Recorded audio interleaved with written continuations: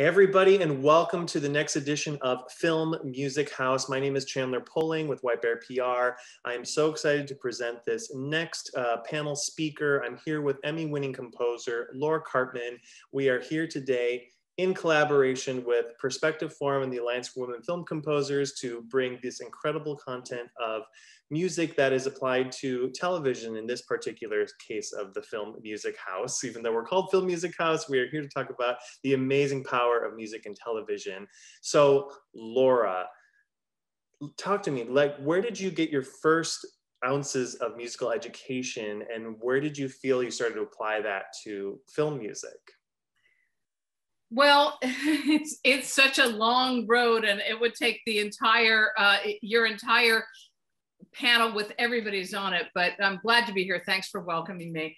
Um, you know, when I was growing up, I started writing music very young, and I it wasn't my dream to be a film composer. I, I grew up in LA, and um, my dad had a lot of he, he was a cardiologist and he had a lot of you know celebrity patients and uh, I and I had went to school with a lot of kids who were whose parents were celebrities or producers, directors, and I um, I just had no interest in it. I wanted to be an East Coast intellectual, and um, when I was a kid, I sort of as I said I started writing music, but I also started listening to a lot of jazz and studying jazz, and I started scat singing, um, and I memorized all of Ella Fitzgerald's solos from all of her albums, and I just got deep into vocal music, and I became a pretty good singer.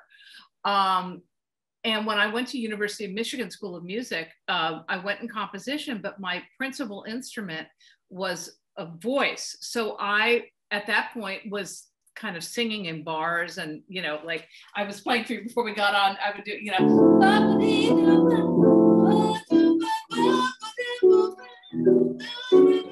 speaks latin ba you know i used to be yeah. better but there it is I love that. um anyway um but i started also studying opera and what was really cool is when i was an undergraduate at university of michigan because I wasn't going to be a professional singer, they let me sing everything. So I would study, you know, like, uh, you know, Verdi and, and Stravinsky, and I would sing arias that were not at all in my range. At that point, I was a coloratura soprano, which is like, you know, up there. I mean, I was, it's, I can't do it anymore. But, you know, I sang, oh, fors'è lui, you know, Verdi and all that kind of stuff. And, and, um, just I had a great time. And I fell in love with singing and opera. And I think opera was my gateway drug to film scoring. Really? Yes, I do. Because I started like really getting into this idea of what music and drama meant and how they interacted and um, I started reading a lot of plays. Like I remember I was reading like a lot of Eugene O'Neill, Shakespeare, all kinds of playwrights. I would go see opera when I finally when I got to Juilliard to do my master's and my doctorate. At that point, um, Beverly Sills, who was a great American soprano, was singing at the New York City Opera. And the thing about Beverly Sills is that she was um, gymnastic. I mean, she like listening to her sing was like going to the Olympics of vocal stuff. And it, it, was crazy. I would go and hear music that I had absolutely no interest in, like this, you know, this coloratura stuff that goes like, you know, these very fast runs in, in vocal music. And, you know, anyway, I, I really immersed myself deep in opera. And I, um, I would listen to pieces over and over again. And the two pieces that I really remember the best were um, a Britten's A Midsummer's Night Dream, and then also a piece by Samuel Barber called Summer, Knoxville of, I think, 1950, and I can't remember the year.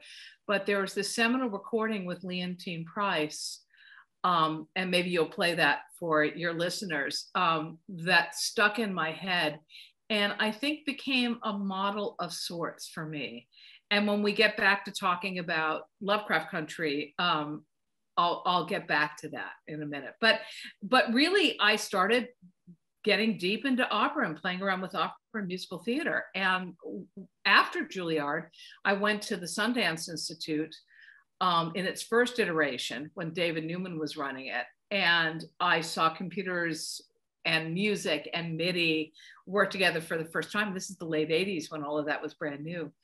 Um, and for me, that was like, it was so the technology of it and this kind of interacting with music and visual material was I, I, mean i was gobsmacked. It changed my whole life. Incredible. and that was kind of that was the beginning of, of kind of this merging of of who i was or who i thought i was going to be um, with who i am Right. Yeah, and I know that was a, that was a a, a loaded question to get because you, you had to go a long way in a short. I did. I'm sorry. I had to go way back. No, it's important because obviously the point of this panel it's called "Write What You Know" and it's about applying your personal skills or applying the skills of what you've learned through your education to film scoring. So obviously you come from a much different background, uh, coming from as a vocalist into opera, Juilliard. This is not quite the norm of film composers in our industry. So I wanted to know how what you picked up along the way, how you've applied it. I've heard I heard you know you did the little scat demonstration, and I've heard that used in your Paris Can Wait score. Oh yeah, you I little, sang on that. Yeah. Yeah. I mean, we got Ute Lemper, who's way better than I am too. But yes, you know, I do. I love. I you know when I can, I love to still sing on stuff yeah and that's an incredible that's incredible uh, tool that you picked up along the way that you can apply into your film scoring and, yeah. and in that part in that particular film it came out so well it was perfect fit for it but let's um let's dive into opera like, like like we're on a great path with opera and you have a grammy winning album for ask your mama and you use this incredible singer. Why don't you tell us a little bit about Ask Your Mama and how that kind of led you down the road into even more deep into the film music world? I will, but I'm gonna I'm gonna back up and and kind of answer a, a question that was implied in, in your last question, and that is that, you know, as a singer, um, singing in my scores is not the only way that I've used it effectively. I've used it to sing to clients a lot so that if somebody's coming over and i'll give you a perfect example. I won't say what it is because i just um, we just got the gig and i don't think it's public but i basically sat on a zoom call last week with a guitar tuned down there right and the guitar was um, I don't play guitar, but I but I detuned it to be CEG, and this was um, or CGC, and this was a, a, an audition. It's a it's a job that actually Raphael and I are doing together. And I had this idea, and I just started singing.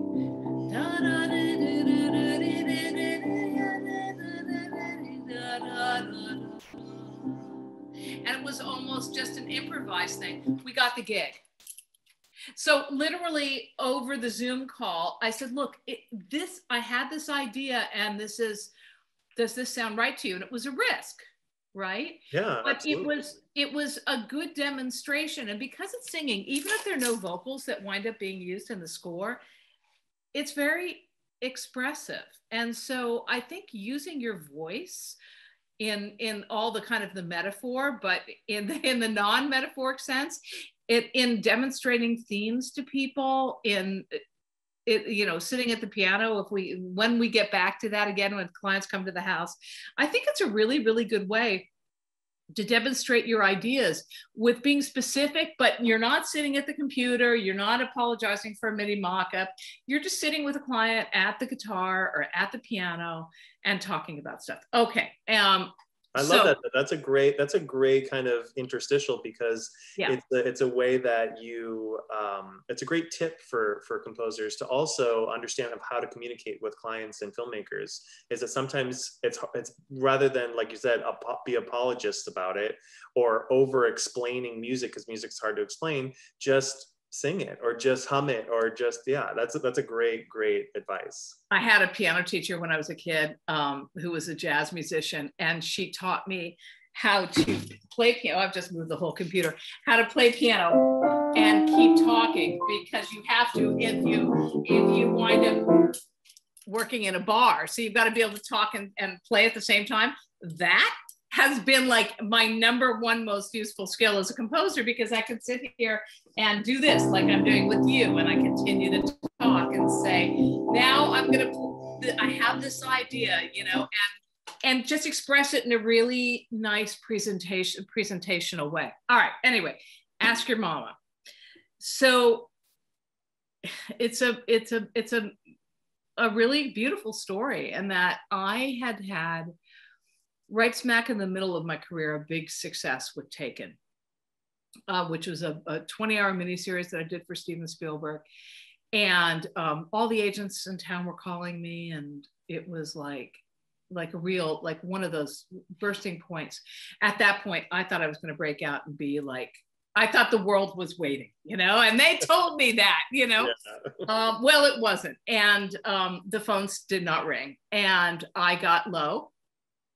And I started, um, I wanted to do something. And I'd written this music for a CBS miniseries. Um, they said they wanted neo noir music. And so I wrote this kind of neo noir music, but it was too jazzy for them. And it all got rejected, understandably so, because it was pretty out there and um, I thought, you know, I want to do some sort of recording project, and I wasn't busy. And I went to the bookstore and was looking for like beat poetry or jazz poetry or something, and I came across the poetry of Langston Hughes, which of course I should have known well, but when I was a kid, we didn't learn the poetry of Langston Hughes in school. And I was blown away because it's so musical. Um, he's so musical and its music is inextricably bound in all his poetry. And there was a poem where music was truly inextricably bound. Um, and it's ask your mama and literally it's his longest poem and on the right hand margins of the poem um, langston hughes says how the music should sound literally telling you what to do mm. so it's German lieder transforms into 12 bar blues was one direction from Langston Hughes, which is perfect for me because I knew German lieder and I knew the 12 bar blues. And I felt like I was a good person to try to make his vision come to life, um, although others have done a wonderful job at it as well. And, um, and this text of Langston was like working with the director, right? I mean, except right. somebody who was incredibly musically um, imaginative and and and uh, specific in a way in a musical way you know we ask directors to be more generalists right so and talking to us in terms of um, you know actors and in terms of like talk to us like actors with with emotional beats so anyway to make a long story slightly longer um, i loved this poem and i knew there had to be a time that i had to do it and I set it aside. And uh, a number of years later, I had the opportunity to meet Jessye Norman, who recently died. She was a great, great, great American singer and a beautiful musical mind. And um, I put together a piece. It became a commission by Carnegie Hall. It featured the Roots and Jessye and Nnenna Freelon, the great jazz singer and it has been done multiple places um, at the Bowl, at uh, at uh, the Apollo Theater, and at Carnegie Hall as well, some other um, some other institutions. And um, when I did the recording, which won a Grammy, um, we were nominated for three. I hired this woman named Janai Brugger to sing Jessye's part because she didn't want to record it at that point. And Janai sounds to me like Leontyne Price. Now you remember at the beginning of this conversation, I said I was completely obsessed with Leontyne Price and Samuel Barber. Um, Ask Your Mama was a big success. And in fact, and here's the big surprise, and what I think is so such a useful thing for young composers, um, it opened up a ton of scoring work for me because um, Kasi Lemmons, who was a friend of mine and works regularly with Terence Blanchard, Terence was unavailable for a film and uh, Raphael Saadiq was doing the songs for the film, and Raphael was interested in doing score.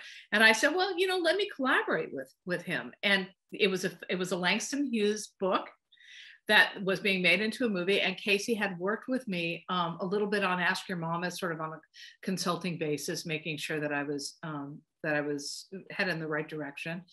And um, it was really um, it, it, it, opened up this collaboration with Raphael, which has been huge, which led to Underground, and Underground led to Lovecraft Country, same showrunner, Misha Green. So you just don't know what's going to take you where. And writing that piece, Ask Your Mama, which I did out of my heart and because I felt compelled to, had nothing to do with film music, led led back to I think a resurgence in my career and uh, uh, and also beautiful musical friendships and deep other friendships with Raphael, with Tara Stinson, who also is a dear friend who wound up singing on the album, and and we've collaborated with on many many many yeah. projects. That's a very, you told me not to give long answers, and I'm giving you these endless answers, and I apologize.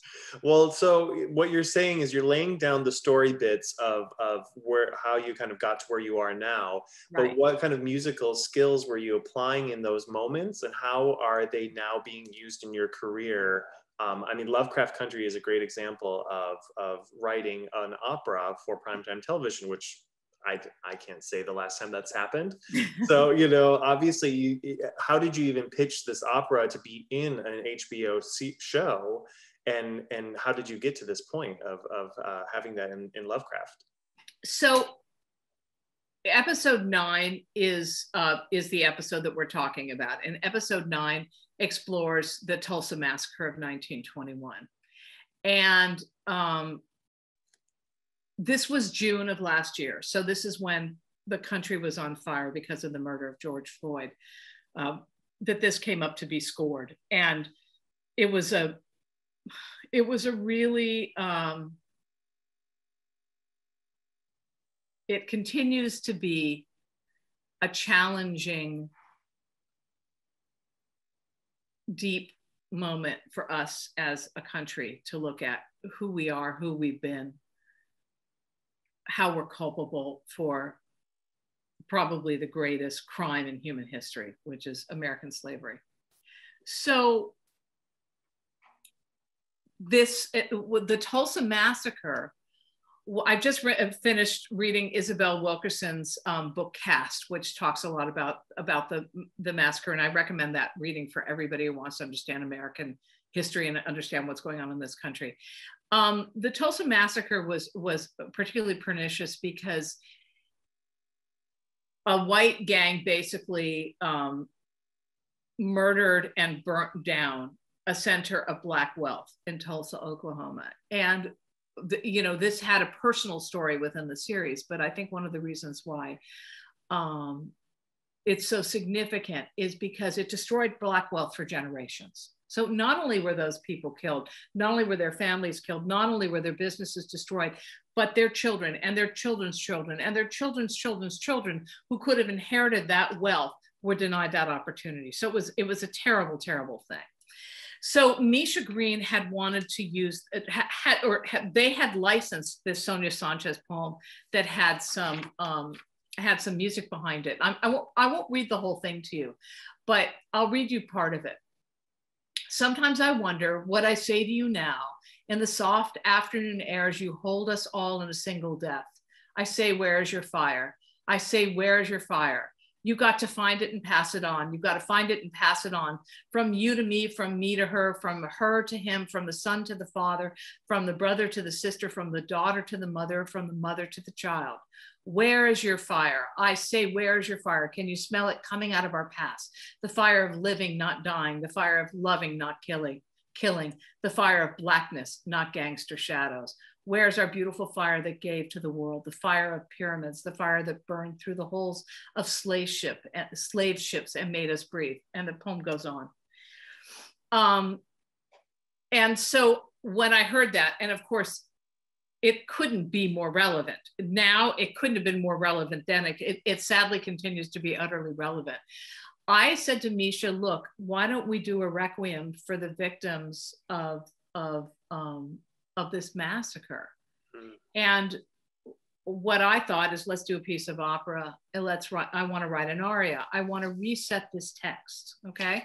I'm going to read you the text of, um, of what I set. Okay. And she said, good, try it. And um, what I, so I lifted from the poem and I reduced it. Okay. Sometimes I wonder what I say to you now in the soft afternoon air as you hold us all in a single death. I say, Where's your fire? Okay. So that's exactly like the original Sonia Sanchez. I'm going to play play it very badly and sing it even worse on the piano, right? Which I can't see. Um, sometimes I wonder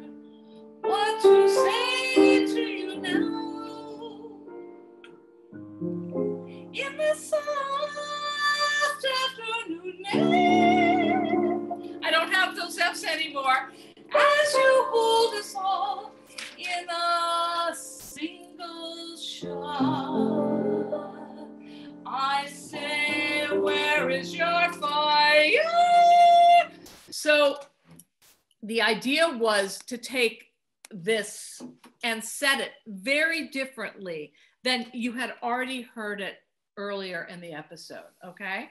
Mm. Um, one of the really beautiful things that happens in the aria is that she starts to call out to people. And here, let me just find it.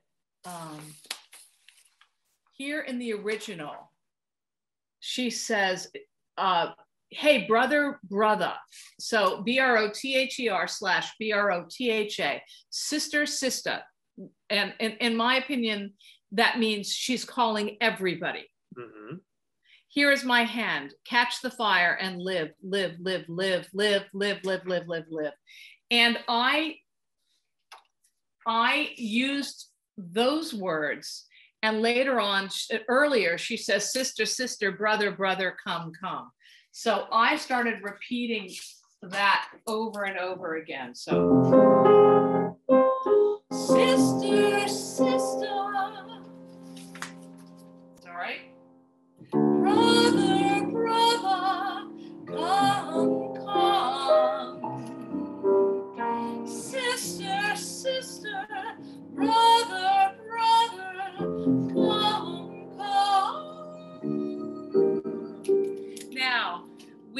Remember I told you about the Samuel Barber? Way back when I was an undergraduate. Mm-hmm. I call this piece, piece Catch the Fire Tulsa 1921. And for me, it was an acknowledgement of the Barber piece, Knoxville, summer of 1915. Mm, wow. And it's a,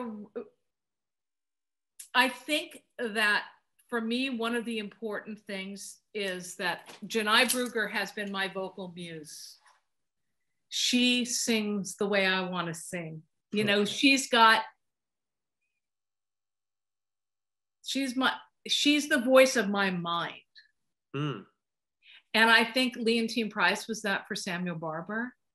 And so I allowed myself at this point in my life, as a very established a composer has been doing this for a long time, to um, think of myself as Samuel Barber as a great American composer. And that for me was um, good. That is good. You Yeah. know, that was that was good, and I- and I feel like I deserve it, and I feel the piece the piece does that, and and it it very much comes from the barber, and yet it's been through. You know, this is we're talking since I was an undergraduate in college, so we're talking a lot of years. It, it's evolved with me. It's evolved with my experience, my experience you know, as a human being, my experience as a queer person, my experience as an outsider, my experience in these deep collaborations with Jessye and Raphael and Tara and Misha uh, and Janai, and then, you know, and then it comes out into this. So there it is. There it is. So, you know, uh, just harkening back to the name of this panel is, is, to write what you know. So obviously you are utilizing your inspirations from all the way back to, you know, your undergrad and, and, and whatnot. Um, can you talk just a little bit about some of the, so learning music in that time of your age and where you are applying that now? Obviously opera is not, not everybody's given the opportunity to write an opera. So eh, for a show, so where do you feel that you can work those moments into your everyday kind of scoring? Well, I mean, I think there, I think it, it's kind of a, I would say two things. You know, first of all, I mean, all of my education comes to bear in my writing. You know, li- for me, listening, having listened to a lot of music, having listened to a lot of orchestral scores, not just film composers, um, in fact, not even mostly film composers, but, um, you know, Barber, Lutoslawski, Bartok, Stravinsky, um, Leonard Bernstein, Leonard Rosenman, you know, um, Thea Musgrave. I mean, I, I, can go on and on and on and on.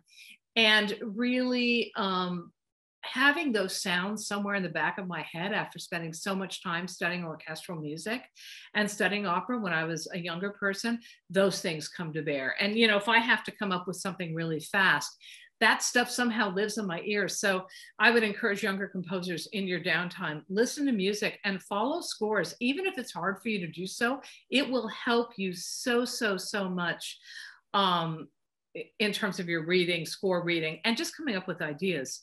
Um, also, something I use all the time, and now we're having um, lunchtime ear training with my son Benny and with my with my assistant Amelia. You know, like like things that you think are so tedious, like what interval is that? You know, it's perfect fourth. Mm. There it is again, perfect fourth and octave displacement.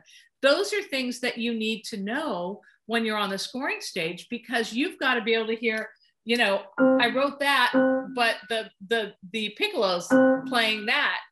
You know, oh, that's an F sharp. It, that should be an F. So you can call out errors. So ear training, I, I'm sure they're like great programs, but you can also just sit down at the keyboard and close your eyes and just hit notes and you've got to be able to identify all those intervals. Yeah. so that's that's like one of those crazy things that i use all the time. Um but i think i think you know it's funny because being a film composer has made me a better opera composer and being an opera composer has made me a better film composer. So um I think that those two those two sort of parts of my life um, play together very nicely. Wonderful. Well, my last question I wanted to ask you is you've labeled yourself as a maximalist. Mm-hmm. You've said that to me where more is more. Um, how would you say that being a maximalist in your personal taste is uh, is useful to you as a as a composer in film and television? Well, as you can see, I go with your stripes right? Your your your lounge, your lounge, uh, your lounge wear in the back there with yes. my lounge wear on my body. um, listen, I it, I like writing dense, even complicated music. You're not supposed to do that, you know, as a film composer. No. um, but I do it all the time. You did. And part of what happens is if you're going like, if you're doing.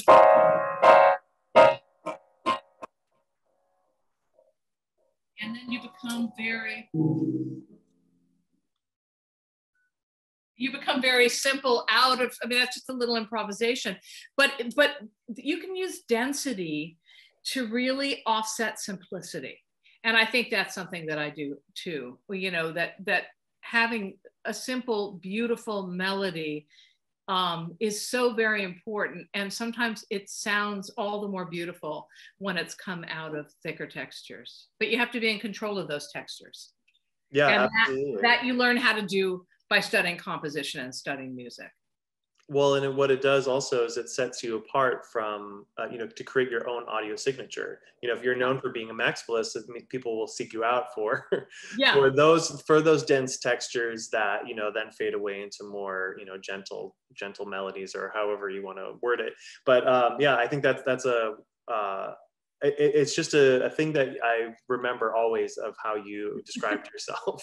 well, you know, I, I hid it for years, and then I finally decided to come out of the closet, you know, and just admit admit the truth. Yeah, but you know, it's funny because when I first started writing film music, um, and I came from studying Mil- from Mil- uh, I came from studying with Milton Babbitt at Juilliard, who was very much a mass a mass I can't even say it a maximalist and a de- dodecaphonist, a twelve tone serial composer um, I started doing television movies. And for those of you, most of you will be too young to remember this time, but they were these terrible movies that were on the four networks. But it was bonanza in terms of work because every Sunday night all four networks would produce these movies. And I would do like five or six of them a year, and the royalties were great. And it's great, great work.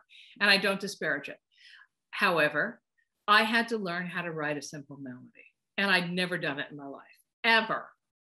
And because you don't have time you don't have an, an, you don't have an opportunity to get to the emotional rawness and those things. Like they're right off the bat emotionally raw. And they're like you can see these movies on lifetime now you know they still have them and they still air them. Yeah. but it, that was great training for me too as a film composer. I had to simplify.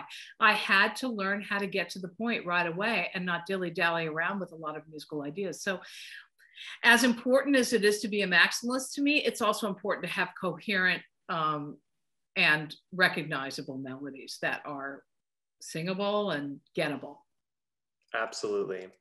Well, Laura, thank you so much for taking the time to oh, talk to me today. I loved hearing about your journey to, to this point and congratulations on Lovecraft Country and, and being able to apply opera, one of your loves, into your career in, in television and film scoring. And it's just all very, very exciting. So oh, Thanks, Chandler. I appreciate it. It's a lot of fun to talk to all of you. And listen, I hope you get something out of it.